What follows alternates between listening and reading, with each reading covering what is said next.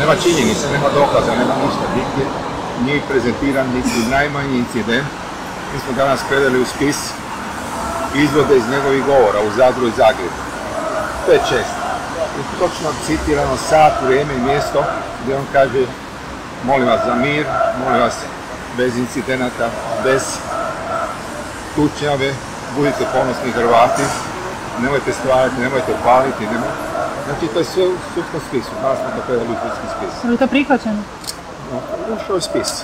Kao dokazni prijedlog obrane to je ušao u spis. Međutim, kao da govori zidovima. Jedan jedini pravno relevantni dokaz ne postoji u spisu.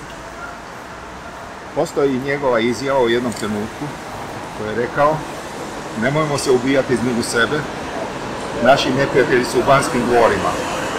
I to je light motiv priče da on terorist. I to je metafora. Treba kupiti latinski riječnik, vidjeti što, što je metafora. I ništa više. I uporno ga drže u pritvoru, uporno njega rade narodnog neprijatelja uporno tvrde da je branjenik koji je, na, odnosno ovaj maloljetnik koji je nađen sa svim tim molotovim koktelima i tako dalje, da to njegov nekakav učenik ili, ili i tako dalje. Možda je, ali možda i nije, treba dokazati. Teret dokaza je znate na kome, na tužilaštvu, ne na obrani. Iako je danas ovdje privedena jedna osoba, navodno je kod sebe imala nož. Da, pa gledajte, i ja u autu imam nož, onaj švicarski na sklapanje, sklapanje. Ali ne dolazite na sud s njim? na sud ne dolazi.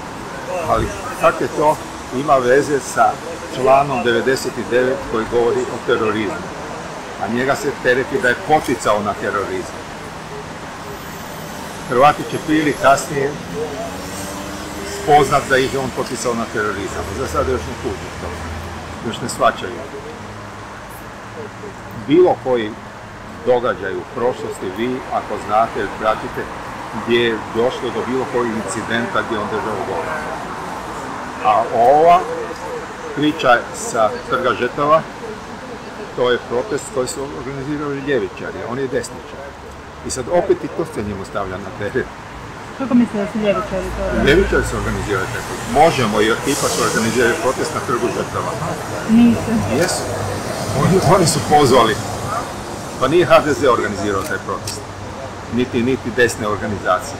Samo iskorišteno fino da se uhvati jedan maloljetnik i taj maloljetnik je sad krunski svjedok da je povezan sa Martom Frančiskovićem, ovaj nikad nije ni čuo za njega.